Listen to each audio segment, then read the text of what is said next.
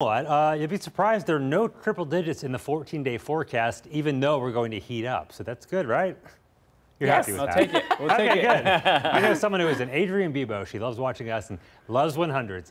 Not myself, and I bet not a lot of you out there. Take a look and see where we are right now. Nowhere near 100, not even near 90. We are in the 80s as of this hour. 81 at the San Antonio Airport. Stinson sitting there at 82. Dew points at 76, so that humidity is up there at 85%. And it will be a muggy overnight, but as we head into tomorrow, that humidity should drop a bit as high pressure starts to build in and we move into a more summer-like weather pattern, not the wet one we were stuck in for quite a while. Southeast winds are at 13 miles per hour, so we do have a little bit of breeze as we looked at the San Antonio airport. 80 in Seguin, 81 for you in Gonzales right now. Del Rio still at 90 as of this hour, 77 Rock Springs and Fredericksburg, 82 George West, Pleasanton 81, and Hondo sitting at an even 80 degrees. Factor in the humidity, feels like 87 in San Antonio, 94 Eagle Pass, 92 Del Rio, not bad in Rock Springs at 79, Gonzales 87, New Braunfels 83 warm degrees. Here's that radar. Had some showers and storms earlier today, some slow movers in the morning.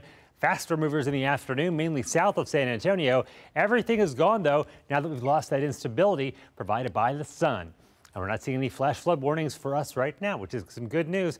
We're not going to have any anytime soon, too. Here is the Futurecast, breaking it down for you hour by hour, starting out right about now. Mostly clear to partly cloudy skies. Heading into the morning, we'll see some more clouds roll in.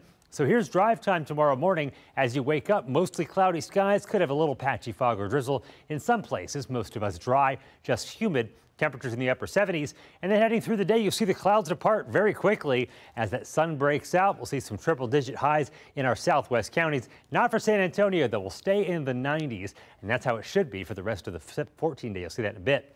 And then as we head into Tuesday morning, pretty much the same thing. Carbon copy. Mostly cloudy skies in the morning, rather humid. Clouds break up quickly during the late morning hours and lots of sunshine by the afternoon. And temperatures maybe a degree or two warmer, but still staying below 100 in San Antonio. Again, triple digits in our southwest counties. Chance for rain definitely out of here with lack of cloud cover as we head into your Tuesday. But we do have Saharan dust coming. Here we go. Here's Tuesday into Wednesday. So Tuesday it'll start moving in. I'm thinking Wednesday and Thursday probably the worst days. Right now we have a weather impact day on Wednesday. Might have to add one on Thursday. For now, we'll leave it as is. And then by next weekend, most of the dust is out of here and we have the air quality improving.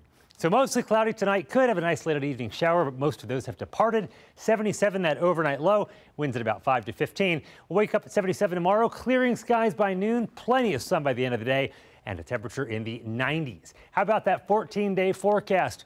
For tomorrow, 94, 95 on Tuesday, so creeping up. Wednesday is that weather impact day with hazy skies, poor air quality. So if you have breathing issues, do your best to stay inside as much as possible in the air conditioning. We'll stay in the upper 90s Thursday, Friday, Saturday, Sunday too. 30% chance of rain on Sunday with a weak system rolling in, but most of us won't see anything. 10% the next Monday, high temperatures in the upper 90s. And for the rest of the seven day forecast, or the 14 day rather, mostly dry, slight chance of rain on Wednesday. And then as we head into the following weekend, we stay in the upper 90s. So we're staying below that 100 degree mark. Vinny, I think a lot of people are happy with that and some dry weather. We deserve